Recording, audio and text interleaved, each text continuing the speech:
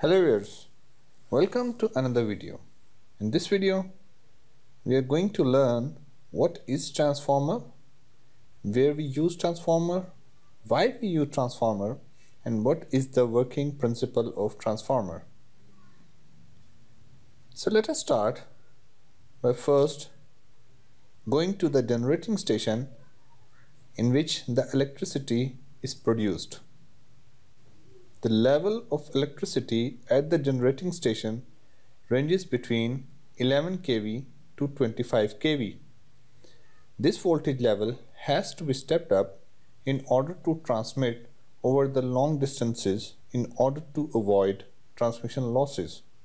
So what we do, we use the transformer to step up this voltage from 25 kV to 110 kV up to the 1000 kV. So this is the transmission voltage.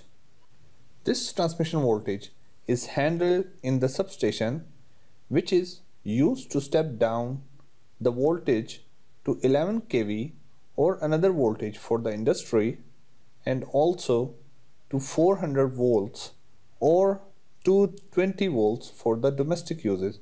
So you can see here that the transformers are used as a step-up transformer to step up the voltage in the transmission phase and then it acts as a step down transformer for the distribution phase. Now let's see what is transformer. Here on the left I have a motor and on the right I have the transformer. As you can see that motor is rotating and unlike the motor the transformer is a static device.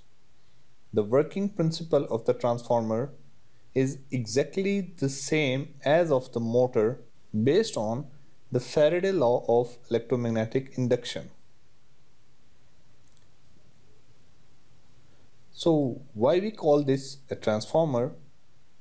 This is called transformer because it transforms the electrical power from one voltage level to the another voltage level or you can say from the primary voltage level to the secondary voltage level.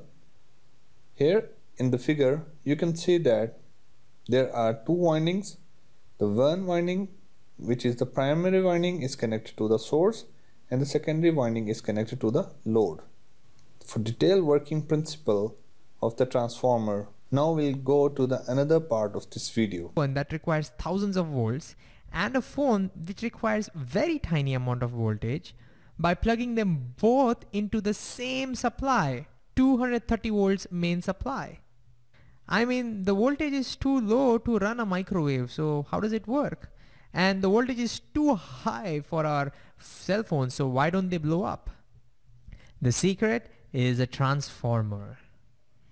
So what's a transformer? A transformer is a device that can either step up which means increase or step down which means decrease step down an AC voltage.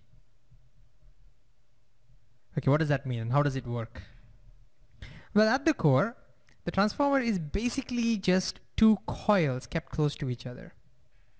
One which is connected to the supply, an AC supply is called the primary coil, and the other which is connected to some device which we want to run, we'll call that the secondary coil. And the basic principle is the supply voltage is going to generate an alternating current. So the current will keep fluctuating back and forth and current passing through a coil will generate a magnetic field. And that magnetic field will also fluctuate because the magnetic field depends solely on the current. And because of that, Mr. Faraday comes and says, ah, changing magnetic flux through a coil, there will be an EMF induced. So an EMF gets induced in the primary. But what's also important to understand is that that same magnetic field will also get linked because the second coil is kept very close to the first one. It'll also pass through the secondary. And as a result, as the flux changes over here, as the magnetic field changes over there, the flux also changes in the secondary. And again, an induction takes place in the secondary. And because of that, there will be an EMF generated in the secondary and as a result there will be a current generated in the secondary. And that's how the bulb starts glowing. In the secondary and primary are not the same. If I divide them, we'll get the relationship between them. We get Vs divided by Vp equals Ns divided by Np. This means that if the number of turns in the secondary is more than the number of turns in the primary, like shown over here, then notice the voltage in the secondary would be higher than the voltage of the primary or the voltage of the supply. And we call this the step up transformer, increasing the voltage.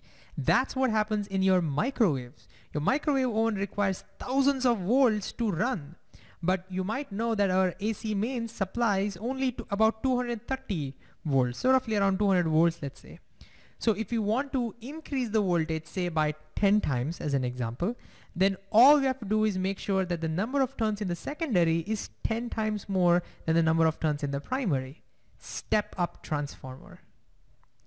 On the other hand, if the number of turns in the secondary is smaller than the number of turns in the primary, notice the voltage in the secondary would be smaller than the supply voltage or the voltage in the primary, we get step down a transformer.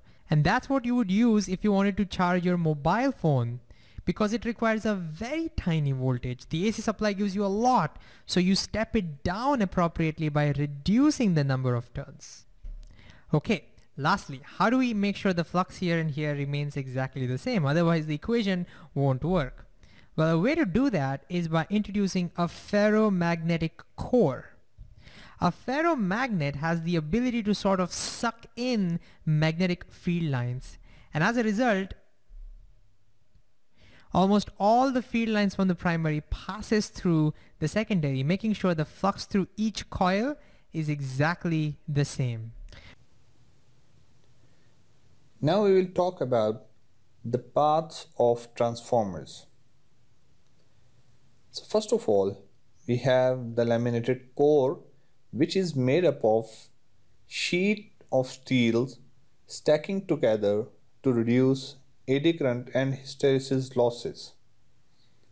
The second major part of the transformer is obviously the winding which is made up of copper or aluminum material. The third is the conservator which is used to store the additional cooling oil. Nowadays, in a completely sealed transformer, there is no conservator. Similarly, in sealed transformer, there is no breather, but in the conventional transformers, the breather is used to absorb moisture from the air during expansion or the contraction of the oil. Another part is the Buchholz relay which is used to protect the winding from overheating by tripping at certain preset temperature.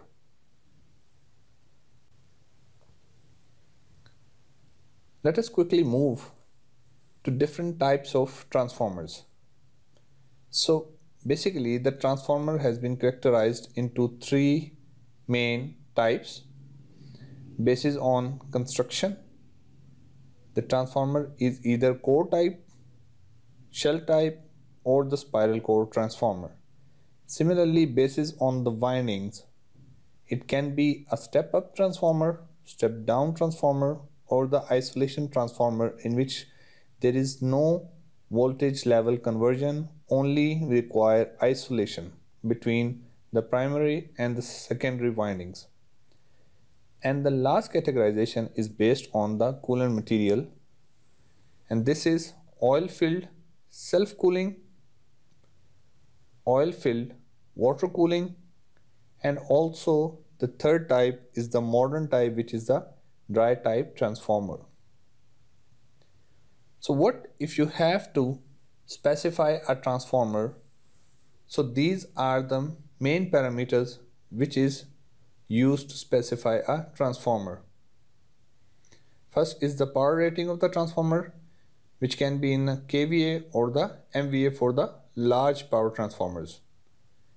The number of phases it can be one phase, single phase or three phase, then frequency, then the primary winding voltage and the secondary winding voltage, also the number of taps.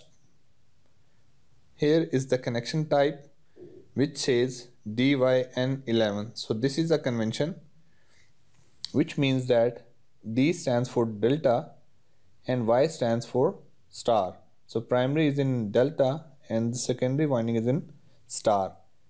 And N is for the neutral as it is written in the capital letter it means that star point has a neutral. Type of cooling here oil natural and air natural is the type of cooling and then the type of tank it can be a conservator or a seal type as I've already told you that in the seal type transformer there is no breather and conservator. So I hope you understand the basic concepts of the transformer. So for more interesting videos, stay tuned and don't forget to subscribe our channel. Thank you for watching.